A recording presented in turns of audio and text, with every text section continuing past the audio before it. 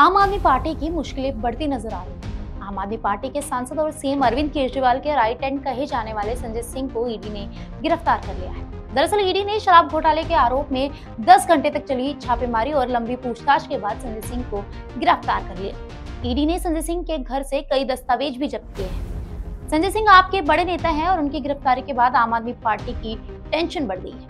चले जानते हैं आखिर क्यों हुई संजय सिंह की गिरफ्तारी और क्या है दिल्ली शराब दरअसल संजय सिंह घोटाले के आरोप में गिरफ़्तार हुए आपके पहले नेता नहीं इससे पहले भी दो बड़े नेता गिरफ़्तार हो चुके हैं। बता दें कि सबसे पहले मई 2022 में मनी लॉन्ड्रिंग केस में सत्येंद्र जैन की गिरफ्तारी हुई और इसके बाद फरवरी 2023 में मनीष सिसोदिया को शराब घोटाले में पहले सीबीआई और अब 4 अक्टूबर 2023 को संजय सिंह को शराब घोटाले में ईडी ने गिरफ़्तार कर लिया है।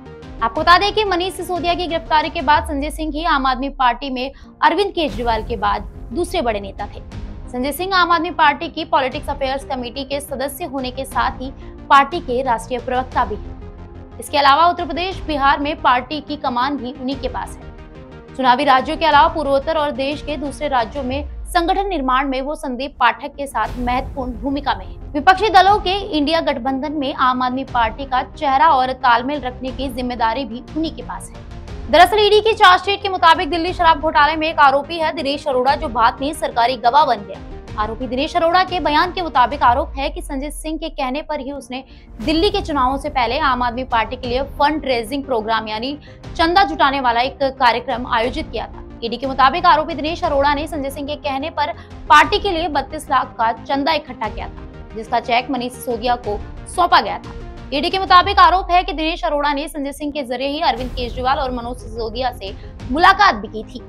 ईडी का आरोप है कि दिनेश अरोड़ा का शराब से जुड़ा एक विवाद भी संजय सिंह ने मनोज सिसोदिया के ज़रिए ही सुलझाया था। और जब आरोपी से ही सरकारी गवाह बने दिनेश अरोड़ा ने मुख्यमंत्री अरविंद केजरीवाल से मुलाकात की, तब संजय सिंह भी वहीं मौजूद थे। संजय सिंह की गिरफ्तारी के बाद सीएम अरविंद केजरीवाल उनके घर पहुँचे। इसके बाद उन्होंने कहा कि संजय सिंह शेर है। सीएम ने कहा कि आम आदमी पार्टी एक कट्टर ईमानदार पार्टी है। ईमानदारी का रास्ता कठिन है। बेईमान हो जाए तो समस्याएँ खत्म हो जाएगी। कट्टर ईमानदार हैं, इसलिए समस्या है। इन लोगों के पास ईमानदारी का काउंटर नहीं है। इन्होंने हमें बदनाम किया। कभी कहते हैं केजरीवाल ने स्कूल, बिजली, पानी, सड़क घोटाले में पैसे खाए। इन्हें मेरे खिलाफ भ्रष्टाचार में कुछ नहीं मिला। शराब घोटाले में हज़ार से ज़्यादा रेड हुई। रेड में अब तक चमनी तक नहीं मिली। वहीं आपको बता दें कि गिरफ्तारी के बाद संजय सिंह ने भी एक वीडियो जारी किया है। इसमें उन्होंने कहा है कि मरना मंजूर है, डरना नहीं। वहीं संजय सिंह की गिरफ्तारी पर सांसद राघव चड्डा ने कहा, लगभग पिछले पंद्रह महीनों से बीजेपी आप कार्यकर्ताओं पर शराब घोटाले का आरोप लगा रही है।